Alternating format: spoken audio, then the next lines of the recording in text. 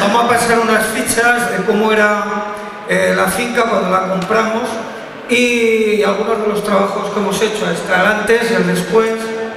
Esto es otro, totalmente degradado, ahí tenemos una plantación de bolaina a los dos años o tres de estar en la finca. Esto es otra área degradada, trabajamos con unos aporcados muy grandes. Hoy hay un bosque con 10, 12 especies. Eh, piloto que, se hizo prácticamente sin saber que íbamos a tener resultado. Eh, y, ahí está, mañana de todas formas podremos ver los resultados in situ, no en la finca. Esto es un antes y un después. Eh, ahí es una plantación de bolaina que mañana veremos pero que puse una plantación de plátano para, para darle sombra ¿no? y facilitar el crecimiento.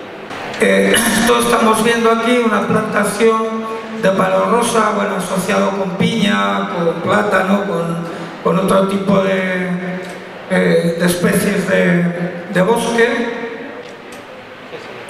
Eso es una vista aérea de una plantación, también en palo rosa, básicamente tenemos muchísimo palo rosa en este momento, con caoba, con bolaina. Las caobas iniciales lo que hicimos fue trabajar con un sistema de, trampas, que usábamos luz y un componente muy sencillo que, que es muy atractivo para los insectos fotosensibles, para las polillas, que es vino o vinagre con azúcar. Y, y tiene un resultado muy bueno.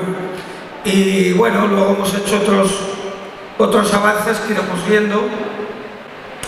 Esto es otra vista aérea, ya hay caoba, bolaina, al fondo es plantación de palo rosa, le ponemos, el palo rosa es eh, eh, muy miedoso al sol y lo que hacemos es proteger el campo hasta que ya están enraizados y adaptados al nuevo entorno. ¿no? Esto es otra plantación, es los rosas. Esto tendría una semana salido del vivero y pues el, formato como ven es muy sencillo y está sembrado pues entre otros árboles digamos de pues que ya estaban allí o con caoba que hemos sembrado o bolaina que son más grandes con la caoba funciona muy bien no da ningún tipo de problemas. Eh, de las plantaciones de alto valor como empresario tengo que, que preocuparnos las plantaciones que tienen mayor rentabilidad. ¿no? Aquí tenemos eh, el, palo de rosa, eh, Lauro Barata, un científico brasileño, hizo un estudio y 20 hectáreas de palo de rosa eran más rentables que 2.000 de soya. O sea, la rentabilidad es muy importante, pero si vemos que para sembrar 2.000 de soya hay que deforestar 2.000 hectáreas, y el cálculo lo sacó con una cuarta parte del valor real del palo rosa, o sea, estaríamos hablando de 8.000 a 10.000 hectáreas eh, que hay que sembrar de soya para obtener la rentabilidad de 20 de palo de rosa. Esto es un proceso muy sencillo reforestación, una semilla, un árbol, eh, vemos la pregerminación, germinación, concretamente es caoba, y ahí ya las plantas ya ya en campo, ¿no? Eh, aquí lo vemos más fácil, a, veces germino fuera de tierra y, siembro, ¿no? En este caso lo veremos con la bolaina posiblemente, eh, pero siembro ya la bolsa con raíz, eso es una plántula en campo y eso es una caoba de la finca que, bueno, mañana podemos verlo mejor.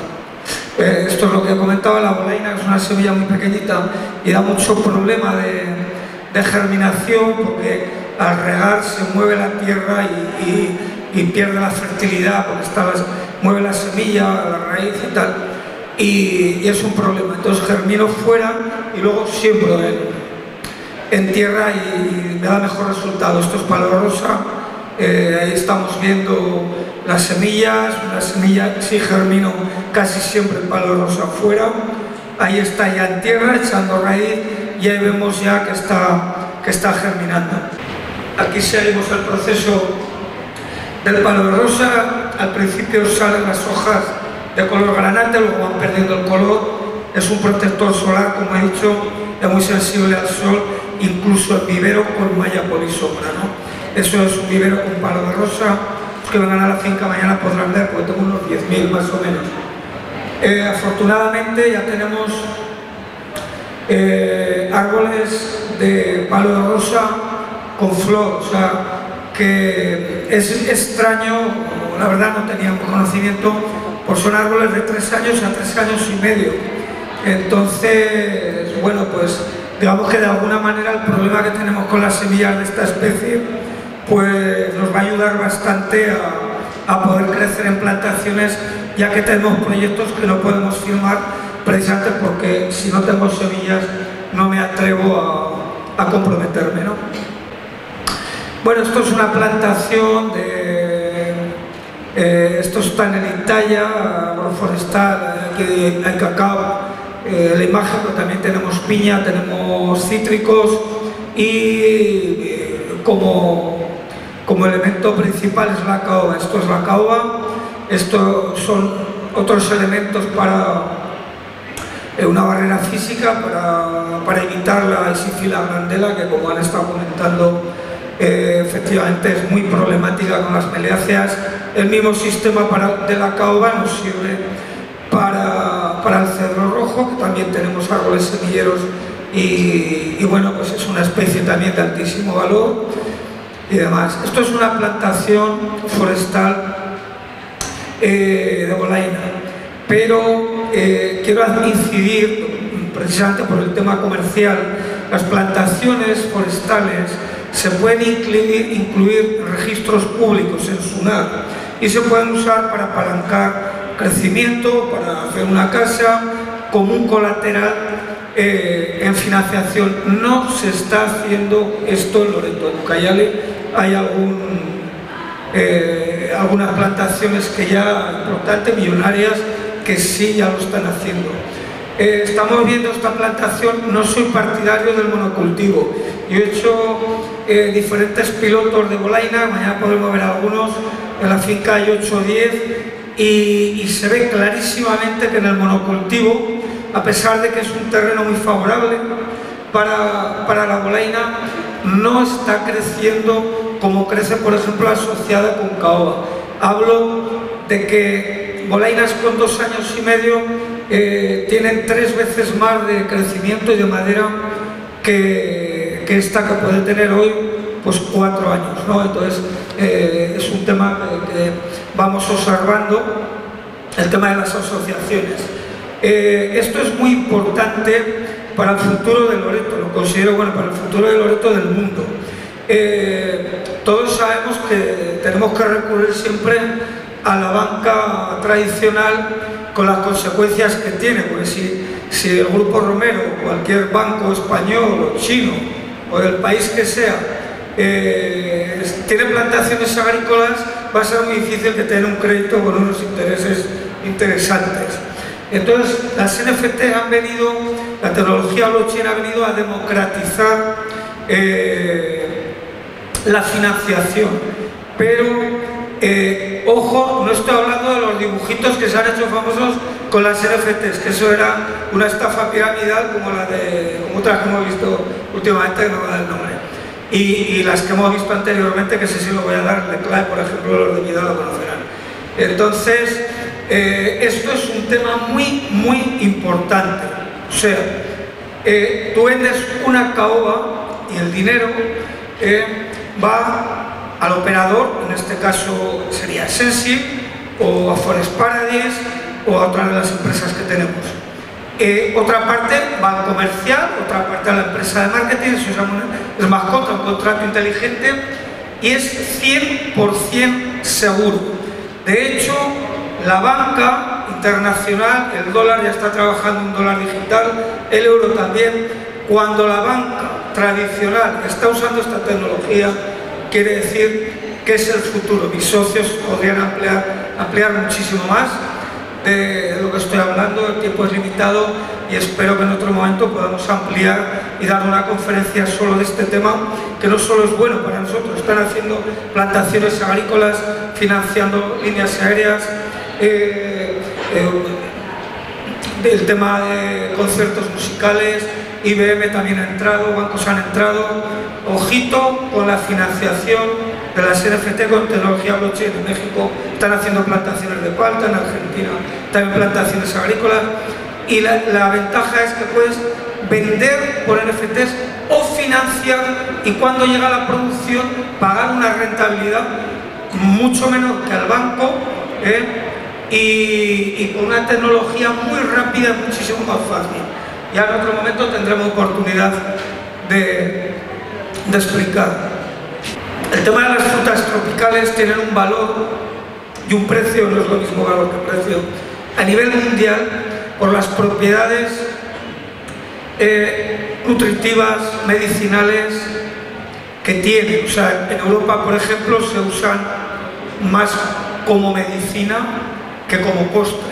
¿eh? Y aquí tenemos un mundo. O sea, Universidad, el tienen información abrumadora. Aquí hacemos una pequeña muestra de cositas que sacamos en la finca. Mañana veremos algunas cosas más que hemos eh, dejado los chicos preparando y, lo asociamos con las plantaciones forestales, lo cual para una familia o para una comunidad eh, esto permite tener ingresos rápidos, ¿no? porque no van a acceder a un fondo forestal, es más complicado, para soberanía alimentaria, eh, con esto tienen los problemas resueltos del día a día, ¿no?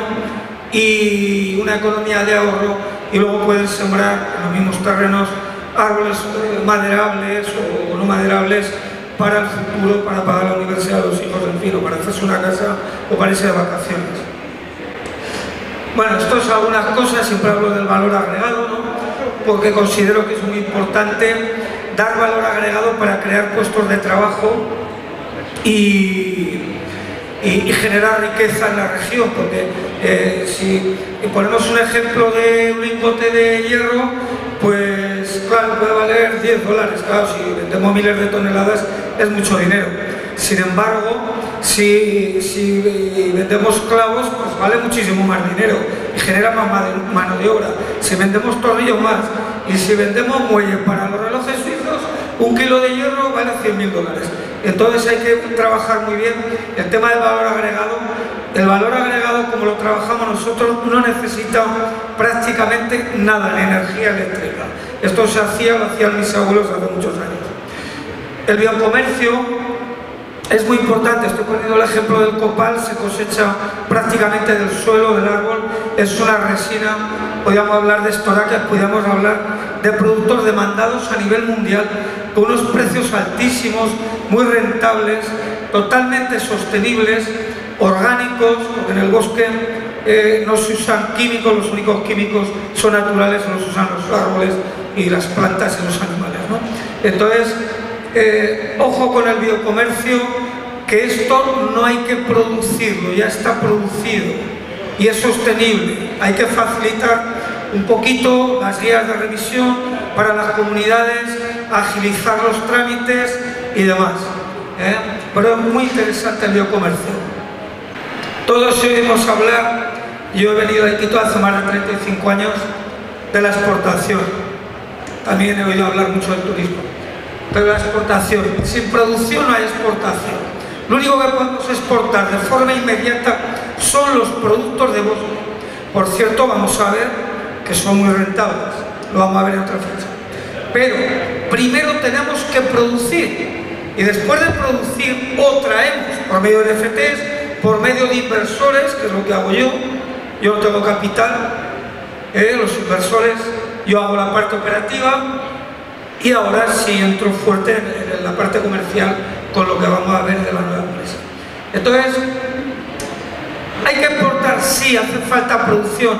Tú vas al mercado con la Charapita y te van a pedir para probar 50.000 envases, para probar, porque a lo mejor estás vendiendo a un distribuidor, a un importador que está exportando curtidos a 80 o 100 países y necesita eso solo para muestras.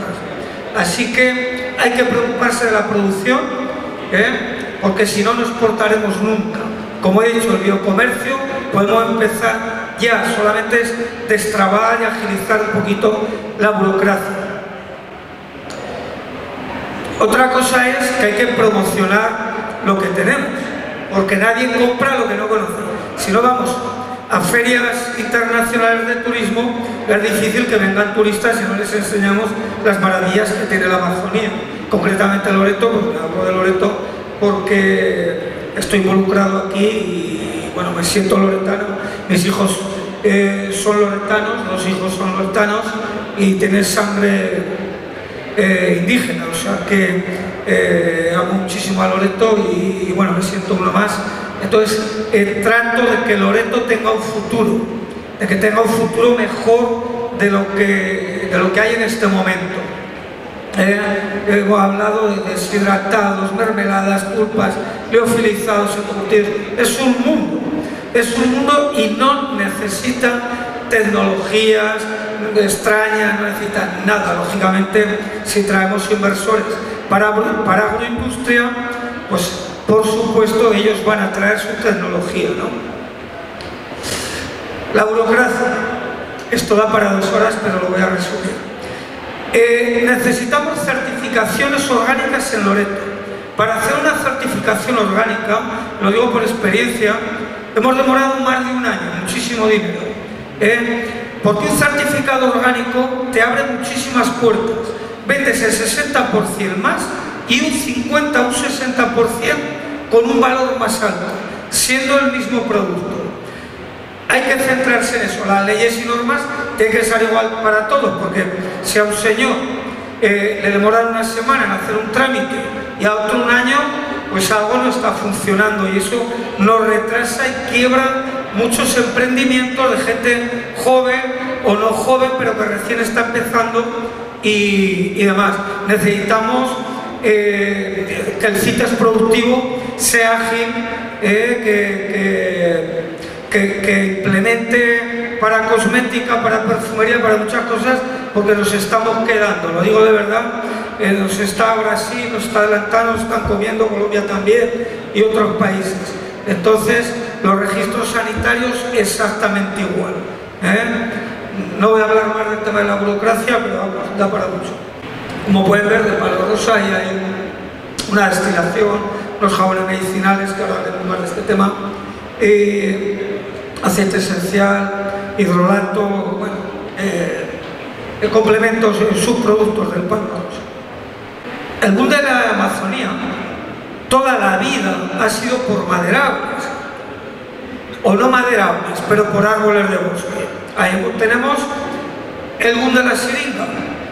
Iquitos tenía tráfico marítimo con Europa antes que el Callao. Entonces, si no tenemos tráfico marítimo y todo tiene que pasar por Lima, nuestros costos son muy superiores a los que pueden tener otras regiones incluso otros países que sí tienen tráfico directo con Europa. Tenemos la siringa, la caoba, el cedro y la época del palo rosa que todo el mundo conoce en Loreto o en la Amazonía. Bueno, eh, tiene un estudio de mercado con más de mil contactos y, y 3.000 pendientes de hacer a nivel mundial, más de 100 países. Eh, es un estudio de mercado que hemos demorado dos años, eh, como 30-35 contactos eh, semanales, dos años, dos años y pico. Entonces tenemos un conocimiento real del interés que hay por los productos amazónicos, que tienen un altísimo valor y rentabilidad.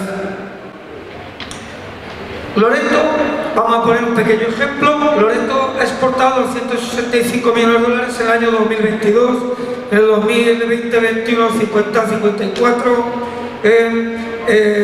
los 265 millones ha sido gracias al fuerte crecimiento de la venta de petróleo y derivados, más un 494%, que explicó el 96% de la exportación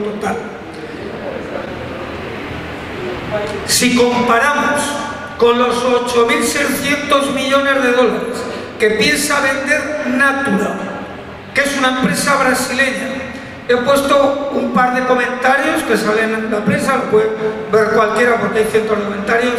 En el 2023, su principal activo son productos de biobosque, aceite de uva, de aguaje, eh, copa IVA, etcétera, etcétera, etcétera. productos sostenibles de bosque. Entonces, si esto lo tenemos, ¿por qué? Me pongo el primero, como empresario, se nos ha escapado esa información. ¿Por qué no nos hemos movido antes? O sea, Natura, empresa más responsable del sector de aso y cosmética y perfumería en Perú. Es brasileño. Sin embargo, ¿cuál es su principal activo? Que ayudan a las comunidades a vender los productos sostenibles y a combatir la deforestación. Nosotros lo podemos hacer. En primer lugar, dice, compramos ingredientes de comunidades de la Amazonía. En Loreto tenemos la misma Amazonía. En, en el Madre de Dios. Promoviendo cadenas productivas que conservan la selva general de desarrollo de más de mil familias. Les aseguro que hay otra empresa que garantiza el desarrollo de mil, de mil quinientas, o sea, una sola empresa. No hablo de un país. Ahí lo dejo porque esto da para estudiarlo. Como no nos vamos a conformar con que solo sea Natura la que vende este tipo de productos a nivel internacional, hemos creado una empresa se llama Floresta, que la ha creado Rutherford, que es ingeniero de, aquí, de, Loreto, de Quintos, eh, y otros ingenieros que le han estado ayudando y algún trabajador. Tengan en cuenta que esto se ha desarrollado en un mes y medio, porque hemos querido avanzar la semana que viene, ya salimos a comercio exterior. Pero lo hemos avanzado en, un mes y medio. ¿eh? Esto es la presentación del aceite de palma rosa. Si quieres vender un producto hay que presentarlo bien, porque, como decían los antiguos griegos, un caballo barato es caro. Quiere decir, hoy diríamos que si me venden un Ferrari de 10.000 dólares no lo voy a comprar ni por mil, porque es que no me creo que no tenga problemas. O si me venden un apartamento en la playa por 10.000 dólares no lo compro. Si tú vendes un producto de calidad con un envase, una mala presentación no, y barato, no te lo van a comprar porque no van a confiar en que el producto tenga calidad. Eso es el primero de marketing.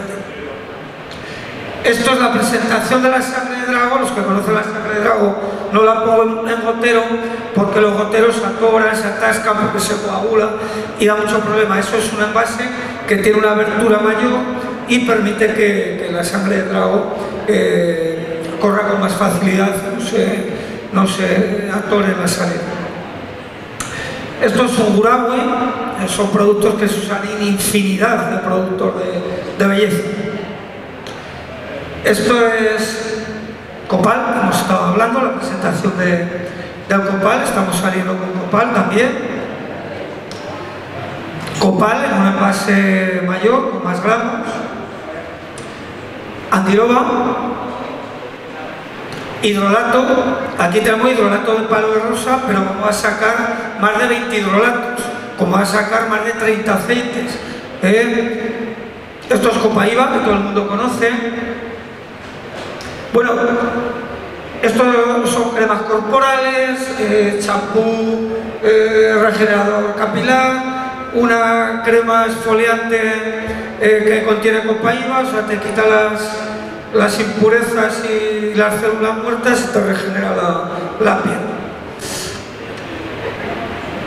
Entiendan que todo que vende Natura son bases de champú que se compran por bidones, se trabaja por medio de maquilería, son bases de champú, de cremas, de mentoles cuando es para dar masajes.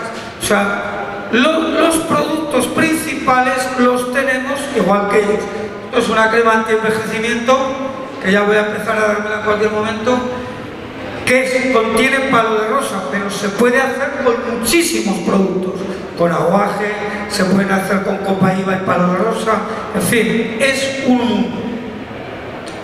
Estos son jabones medicinales, vamos a sacar más de 30, hay previsto, pero en este momento estamos eh, con palo rosa, con aguaje, eh, con andiroba y sangre de drago y copaíba en este momento. Eso es la ayahuasca, lo conoce todo el mundo, eh, se usa para los bronquios, tiene un montón de propiedades medicinales, está considerado uno de los afrodisíacos más importantes del mundo natural y estimula, según, según los expertos, la libido femenina. Eh, estos son perfumes, eh, tenemos un problema con el tema del envase, no en iquitos, en libro también. Entonces tenemos que estar importando los envases y por eso no podemos producir perfumes. Te venden el perfume ya listo, la marca que quieras, las, con los eh, componentes que tú quieras para añadir las especies nuestras. Por ejemplo, uno de los perfumes más caros que existen lleva eh, cedro, otro lleva caoba, eh, el palo rosa se usa absolutamente en todos como fijador y nosotros tenemos la ventaja de contar con esas especies. Esto es uno de los perfumes para ella, este también, este es para caballero y este es para caballero.